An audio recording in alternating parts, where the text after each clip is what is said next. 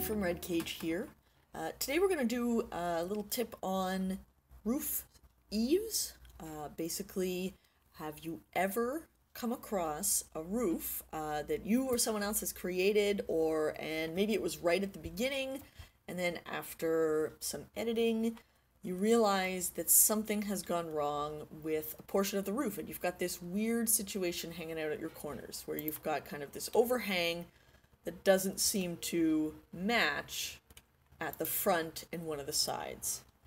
So uh, you may know that in this situation that something has gone wrong with the eave height, um, and if you select the roof and edit its footprint, um, you can use the Align Eaves tool.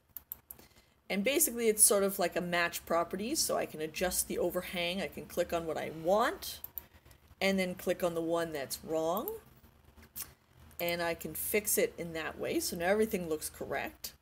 But um, ultimately, you may be wondering why it happened in the first place, what went wrong, how do you prevent it from happening in the in uh, the future. So what's going on there is when I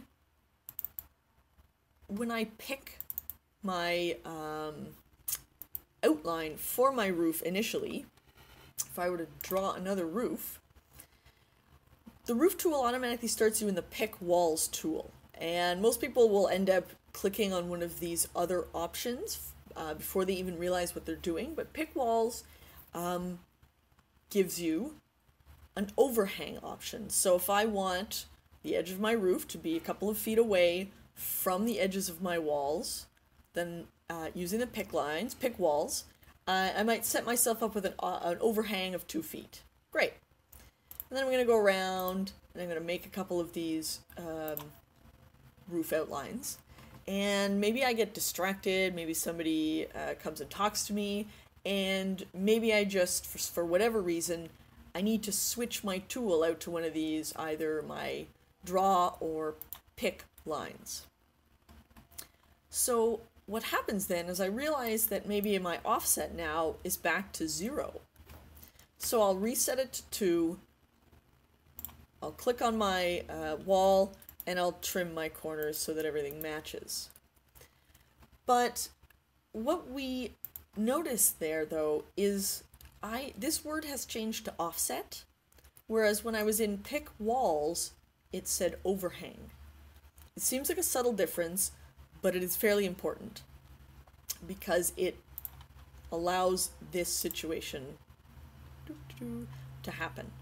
So this one, this front area here has an, an offset of two feet, and this one has an overhang. So what it actually looks like, if I were to cut a section through some other buildings, is my overhang, not only does it uh, extend past the walls by, you know, a designated amount, it also extends past the level that we created the roof at. So it continues the slope down and past uh, my level until it reaches that overhang value that I typed in. If I use the pick lines or any of the draw line tools, I get the opposite effect where it extends the slope down and out to two feet, but it actually picks the whole roof up so that my roof ends at the level that I was creating it on. And so um, I can draw a reference plane here. You can see that there's, you know, a difference in the level of the roofs, uh, even if they might be necessarily the same height.